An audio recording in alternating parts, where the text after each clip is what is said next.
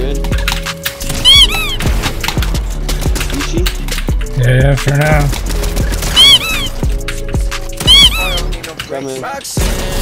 I'll pickaxe him.